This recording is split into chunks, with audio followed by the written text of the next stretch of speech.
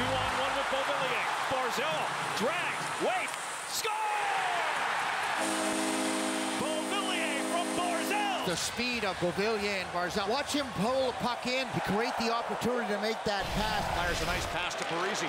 Two on one with Coyle. Here's Parise up front. Coyle stopped by Rittich. What a save by David Rittich on a two-on-one chance. His nets off speed. Fire and score! Jacob Rana with a rocket.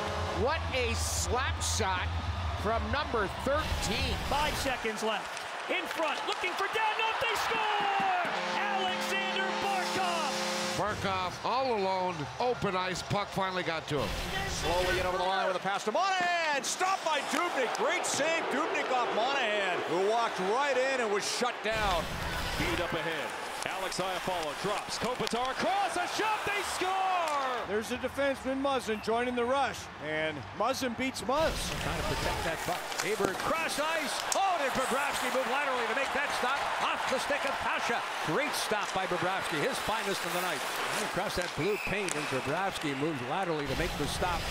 Neat move again. Eichel fires under the crossbar. He scores a dazzling goal. Oh my word. What a goal that was. He's so creative, so crafty. He's as fast with the puck as he is without.